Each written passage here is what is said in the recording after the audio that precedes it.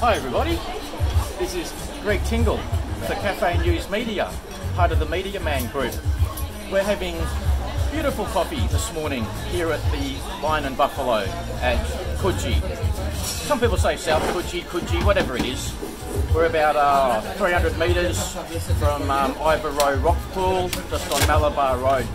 I've been coming here for years. The coffee is just sensational. The cappuccinos and the mochas.